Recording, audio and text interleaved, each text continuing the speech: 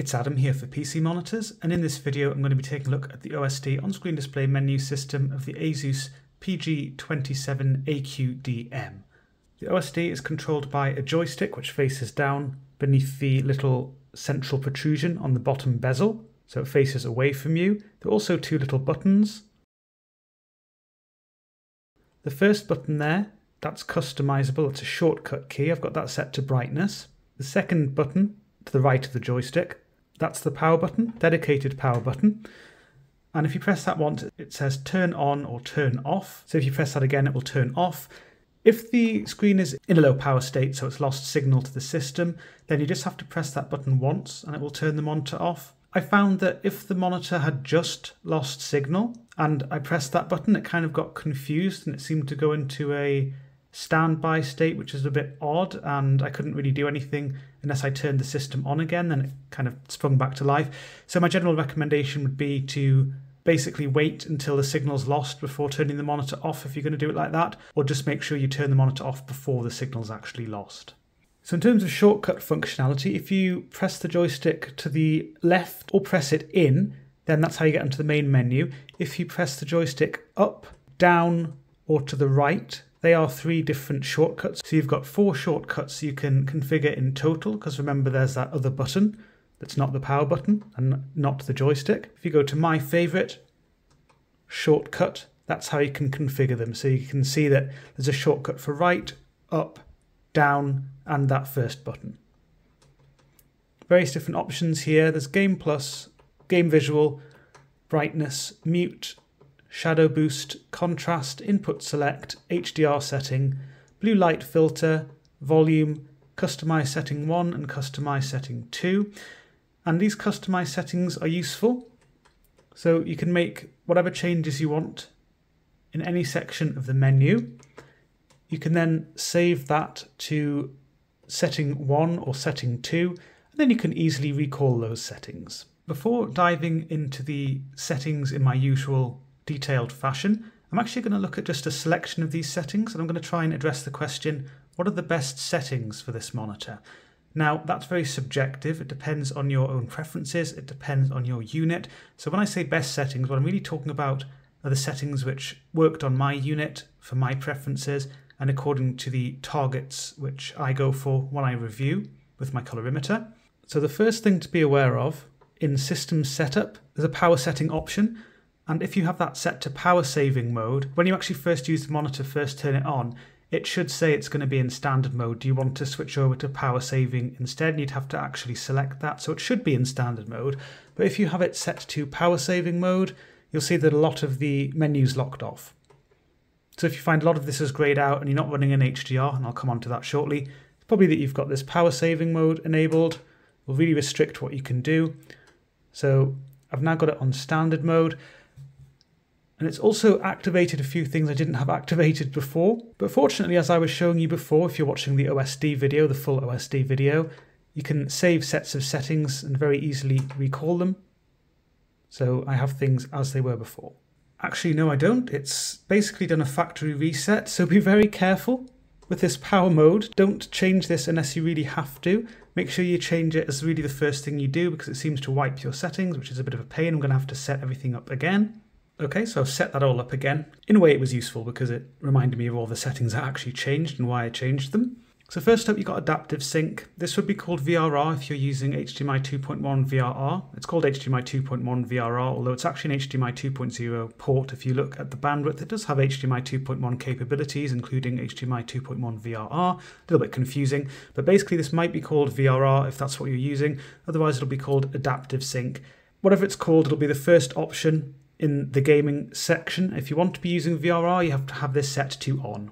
Game visual, they're the presets of the monitor. The default racing mode is really very good, in my opinion. It gives you good flexibility, but really these settings, uh, scenery mode's very funky by the way. They just really set things to different values by default, and some of them will lock certain settings off. And the scenery mode clearly looks funky, but if you try to replicate this in a different preset, it wouldn't look quite the same. So it does seem to make some adjustments beyond just what you can see in the menu. For example, there's extreme oversaturation and crushing of shades, but the saturation is set to the correct default value of 50, the correct neutral value of 50. Anyway, it's more of the same with other settings as well.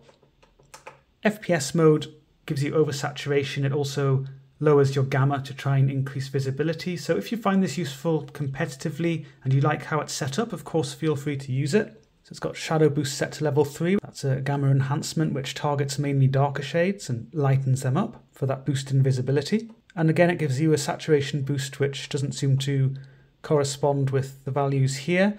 sRGB mode, I wouldn't recommend using this. I mean, it is useful, except it is no more useful than using one of the other presets, racing mode and user mode being the best balanced. But instead, you can go to color, display color space, and change that from DCI-P3, which uses the full native gamut of the monitor, that'll give you the highest vibrancy, the strongest saturation, to sRGB, and that will clamp the gamut close to sRGB, which gives you more faithful output for most SDR content, which is designed around the sRGB color space. And with this active, this setting, it doesn't lock off anything else. You can adjust the brightness, you can adjust the color channels, the gamma.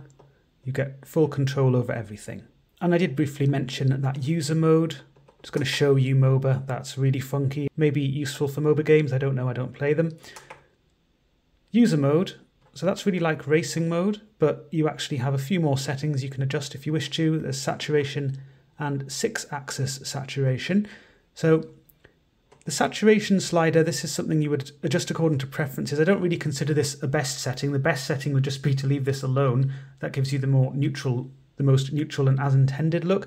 But if you wish to decrease this a little bit, you just find saturation a little bit too intense, for example, then you can do that. Just be aware that it's difficult to get the balance right. And I do find that some shades are undersaturated and others remain quite strongly saturated. It's just difficult to balance. There's also six axis saturation if you want more control over that kind of thing, but the same really applies. So, for example, if you lower the red a bit, some red biased shades don't look quite right, and others have perhaps more appropriate saturation. But if you don't like how things look without these adjustments, please do feel free to make them. Be aware that if you increase anything beyond 50, then you're going to increase the saturation by pulling shades closer to the edge of the gamut without increasing the gamut itself. So that means you're crushing things together and you're losing shade variety. The next setting which I would focus on, brightness. This is something you adjust according to your own preferences and your room lighting. For me, with the other adjustments I make as well, that will affect the brightness levels. I found 64 worked well. That was again for my unit, my preferences, and my colorimeter targets. Uniform brightness, generally you'll want to have this switched on. What it'll do is it will mean that the monitor doesn't really use any ABL, automatic brightness limiter, or a very limited ABL will be used. This means that the brightness is pretty stable, so it's not going to fluctuate all over the place depending on how much bright content is being displayed on the screen. If you have uniform brightness disabled, then it can potentially go brighter, but it does depend on the content displayed. I didn't specifically touch anything else here, but in the evening I like to use low blue light settings. However, I don't like the implementation of low blue light on this particular monitor. That's because level 1, 2 and 3 actually give you higher blue light output than the factory defaults, which is pretty useless. Level 4 does reduce your blue light output but also gives you a green tint. This is all explored in the written review. But an alternative low blue light setting is to go to colour and change colour temp to 4000K. For my regular settings, my test settings, I use the user setting here. I left red at 100, green is set to 93, and blue is set to 80. But this depends on your unit. They're not all going to be calibrated in the same way, and things can drift over time as well. So this is just at the time of review on my unit what worked for me to get 6500K with a good neutral green channel as well. The gamma, I left that at 2.2. Again, that's my target. If you want things to look deeper, then you could select 2.4, potentially 2.6. If you want things to look, let's say, more visible, kind of washed out really, you can select 1.8, a bit less of that, 2.0 but I think most people should really just stick to 2.2 unless you really just prefer a different setting or you have a work reason for using a different setting. And that's really all I changed for my test settings. Things are different under HDR. So I've got HDR running on the monitor. So you'll see that a lot of this is now grayed out. The main settings that you should focus on, yes, you can use VRR at the same time as HDR if you wish. The HDR setting.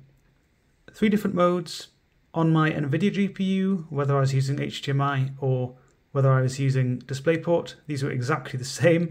It may depend on your firmware, could potentially depend on your system or your GPU. So I would advise trying these out, seeing if they do differ for you, and just selecting the one you prefer, really. The other setting of interest under HDR is color temp. You can set that to 6500K, which gives you a nice neutral white point, a natural look.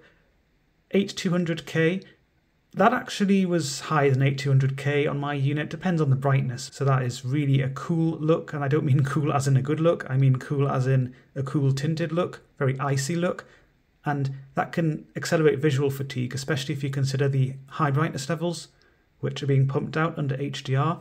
The reason that they give you this option is because it will increase the brightness capability a bit, but it isn't exactly what I consider a huge difference in that respect. Yes, it gives you an edge, but the brightness capability, to be honest, is not massively different to the 6500K setting, and I just feel that the balance of the image is much better with that 6500K setting. There's also a brightness adjustable setting, I definitely don't consider using this a best setting, but there is a specific use case. So if you try and activate this, it says HDR PQ curve will be affected when the brightness adjustment is on under HDR mode. That means that if you lower the brightness, it doesn't neatly map things. It's really optimized for the brightness to be set to 100, which is the same as having this setting disabled. But what this does is it unlocks your brightness slider and if you really find things uncomfortable, you can't bear to look at the screen under HDR, you still want to use some of your HDR benefits, then you can reduce this. Because this is an OLED screen, it is worth exploring the screen protection features, which are found in the system setup section of the menu. First one there is screensaver. I'd leave this on. It's quite a good feature, actually, I find.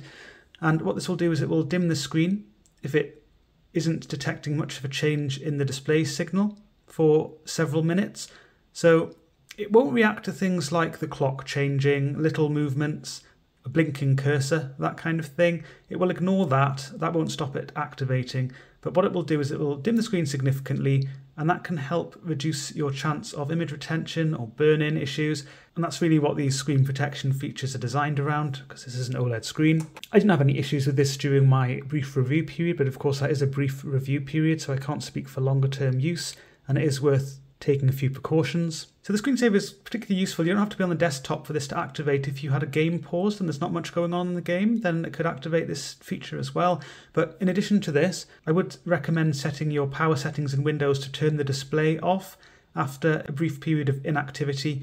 I actually set it to 20 minutes in my review, but that's because I like to have the monitor warm and in a stable state for my review.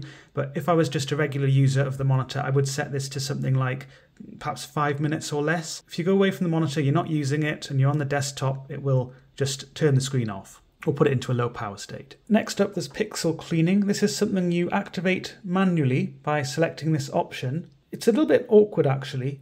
So when you use this, what will happen is the power LED will blink amber and the screen will look like it's switched off. It'll take about six minutes as it says. Now the reason I said it's awkward is that the monitor has a little reminder system. You can disable this if you want, but otherwise you can set it to 2 hours, 4 hours or 8 hours. There are actually other options if you're using DisplayWidget Center, which I'll show you at the end of the OSD video if you're watching the full OSD video. But this just gives you a little message towards the bottom right of the screen.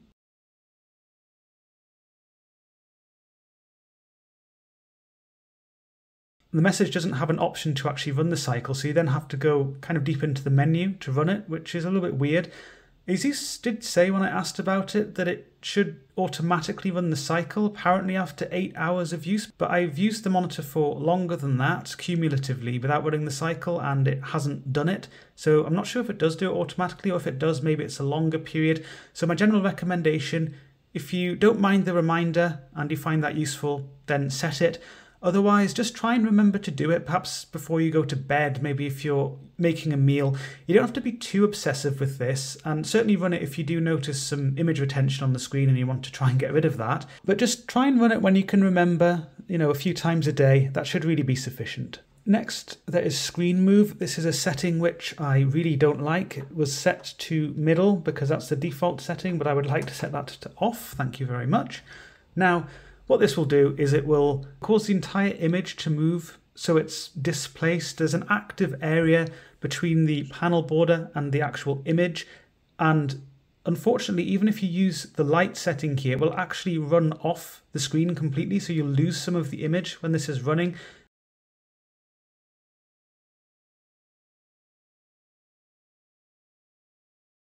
And it seems to run for several minutes at a time, so I find it extremely annoying even with the light setting. The other settings will cause even more movement. The thing to remember about this setting though, I mean if you don't find any of these settings annoying then of course just feel free to leave them enabled. I'm just saying what I like to do here. But yes, if you are using this then it's only, even with a strong setting, going to give you a reasonably slight movement. And that means that larger white elements, some of that, the center of larger objects, for example, they're going to remain illuminated in the same way. So this isn't really just a be all and end all of preventing image retention. It's just sort of one mitigation measure. And I really wouldn't feel too bad about disabling this. It can certainly help at the edges of bright shades and that kind of thing, and smaller bright elements can help prevent image retention or burn in there. But it's really only going to do so much. Next, you've got adjust logo brightness. This is disabled by default, and I disabled it in the review just for consistency and because I didn't want this to kick in and cause any sort of issues with my observations or readings.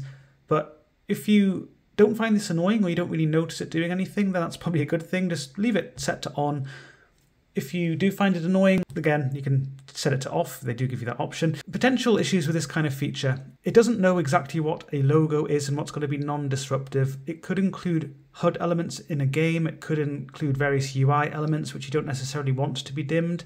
So just be aware that it may not be something that you want to leave on.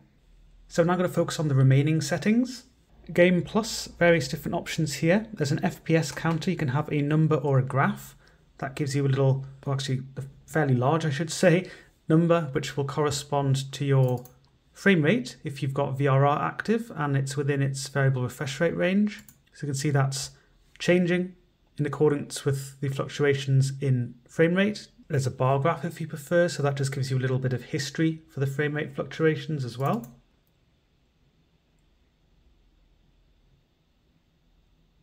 If you want to activate the crosshair, by the way, that will get rid of the FPS counter, so you can only have one of these active at the same time, but I've now just put this little light blue dot on the Jaguar's nose there.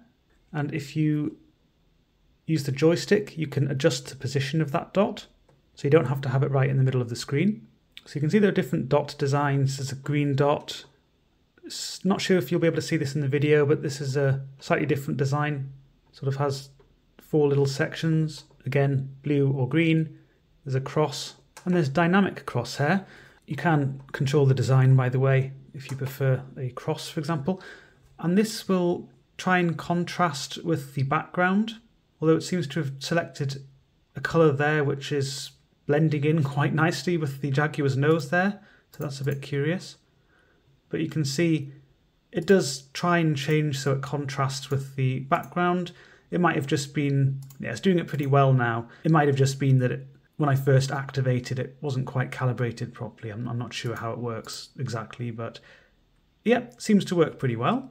Next, there's what they call sniper. So this will zoom in a central section of the screen by various different levels. Okay, so you can see it's zoomed into that central section there. That was 1.5 times zoom. You can have two times zoom. And the crosshair design, you can control the color of that little dot right in the middle there as well. And there's timer, which you can set to various different minutes between 30 and 90. And that is in the top left. It just counts down for you. There's also stopwatch. Again in the top left, that counts up. And there's display alignment, which will give you a grid around the screen just to help you line up multiple displays. Next there's Shadow Boost and I've got lagom.nl, the website open and the tests for black levels there. This doesn't appear on the video as you'll see it by eye, but it will give you a relative idea of what this setting does. Level 1 gives you a bit of a boost, so that increases the depth of these darker shades, actually increases them too much. If you look at it in terms of accuracy, it really does lower the gamma quite a bit here, so that's not good for accuracy. Level 2 higher, level 3 higher again. but this isn't for accuracy, this is to give you a bit of an edge, competitively speaking, to make enemies easier to spot in dark backgrounds, for example.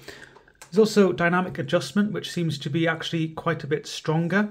So even when I set level 3, some of these blocks are more blended than I'd expect for this kind of setting. Dynamic adjustment gives more of a boost, and it looks at the content and it sort of decides how much of a boost to give based on that, or that's what it's supposed to do. It also doesn't raise the black depth.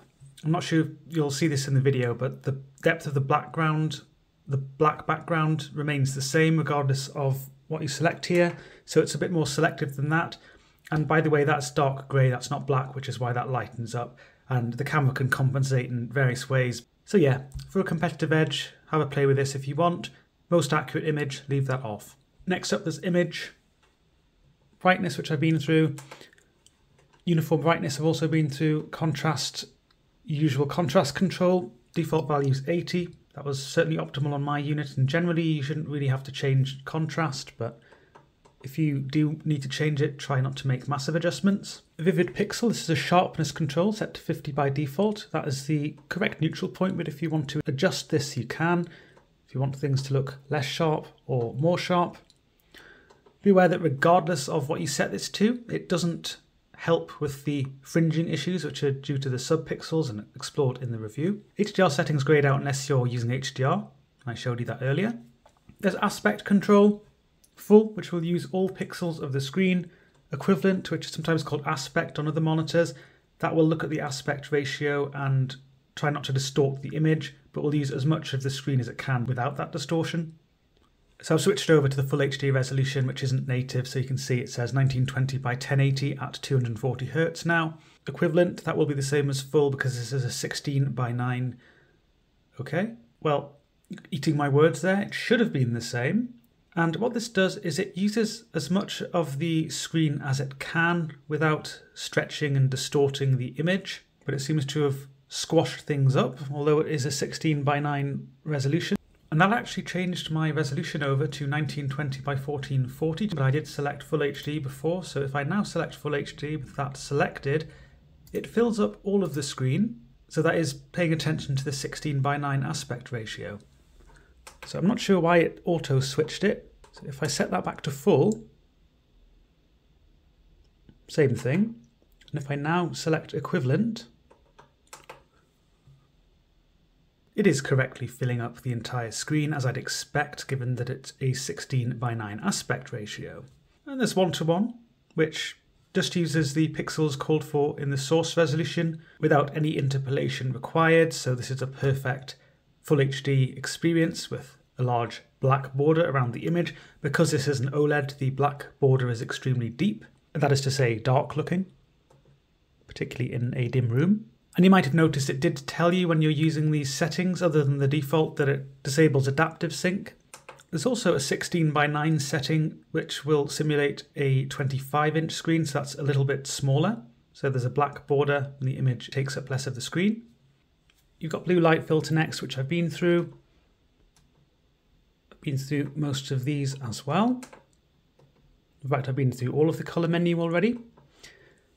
Input select, so you can select input auto detection if you want the screen to decide which input it's using for you, if you've got multiple devices connected, or you can have it so you can manually select that instead. Next, I'm going to look at the lighting effects of the monitor. But the only lighting feature, if you want to call it that, that I've got active is that little logo, and that's actually the power signal indicator or the power indicator. So if you find that logo annoying, you can disable that and this glows amber when the screen is in a low power state, so it loses signal to the system. And it flashes amber if the screen is doing its pixel refresh cycle. The remaining features, they call this Aura RGB, but actually the base is not RGB at all, it's just red and you can have it set to high. So there's a projector, downward firing projector. There's also a little red chevrony thingy there, one on the left side, one on the right side, plus Swift lettering on the back of the stand neck. So you can just have that disabled, high or low, uh, it just controls all of that. And there's rear cover, which I find more interesting, but annoyingly enough, it just faces my wall, as it will with many people watching the video. You can set that to rainbow. So that's that little eye icon there. Nice little grid pattern. I think it looks kind of cool. But again, I don't really get to appreciate it. You can set it to color cycle, which will keep it all more or less one color, whereas the rainbow transitioned in a sort of gradient effect. You can select a static color, red, green, blue, cyan, magenta or yellow. I'll just show you yellow. I'm not going to show you all of these. I'm sure you can use your imagination. There's breathing and you can control the color of the breathing effect. And there's strobing. Again, you can control the color.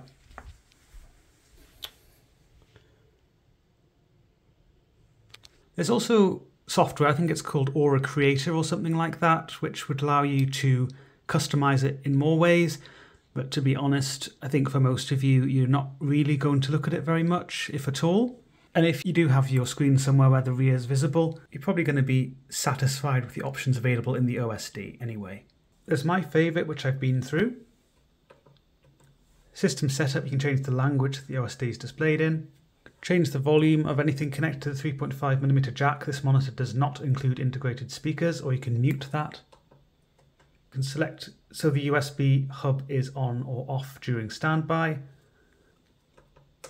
If you're not using the USB ports, I'd recommend just keeping that off during standby because they'll use a little bit of power if you have them on during standby, even if you're not actually using the ports. Power indicator, which I showed you just before. Power key lock, that means you can't use the power key pretty self-explanatory.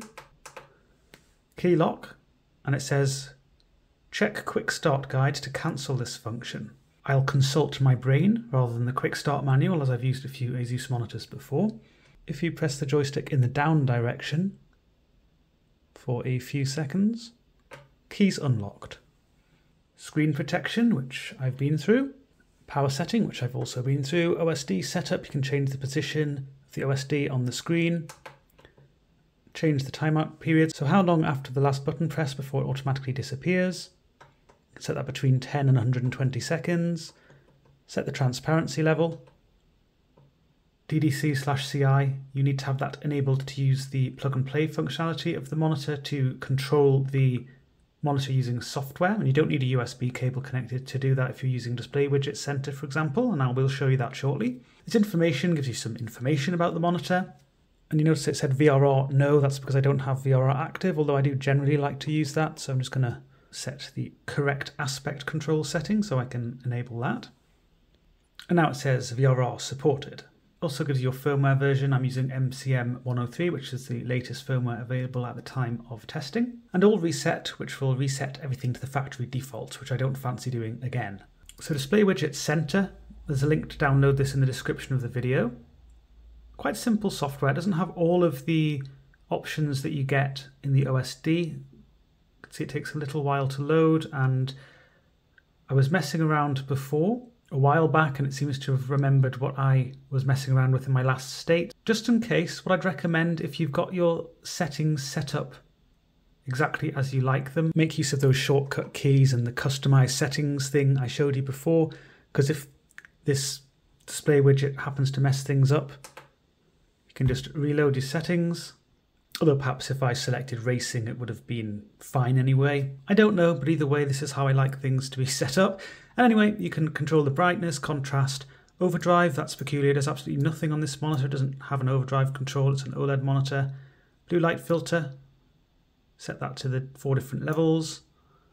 Shadow boost. You'll see there isn't an option for adaptive or whatever it was called. It's just level 1, level 2, level 3 or off.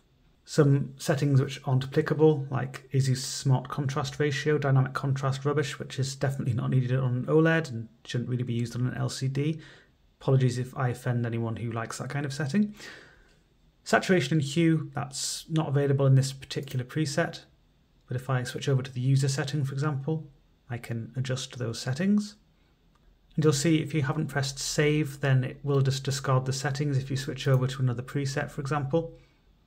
So if you don't like the changes you've made here, you don't have to press save. Different color temp settings, these are completely different to what I showed you in the OSD. Remember there were actually different Kelvin values.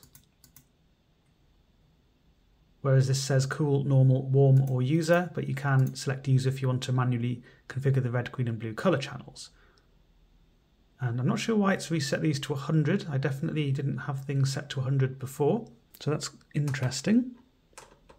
And by interesting, I mean slightly annoying.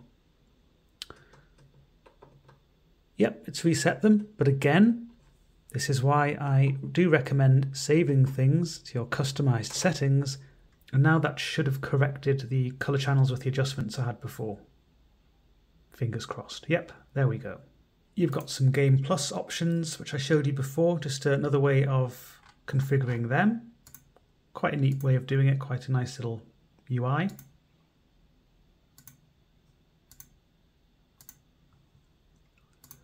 OLED setup, so these are your OLED related options, things I showed you, the little mitigation measures earlier.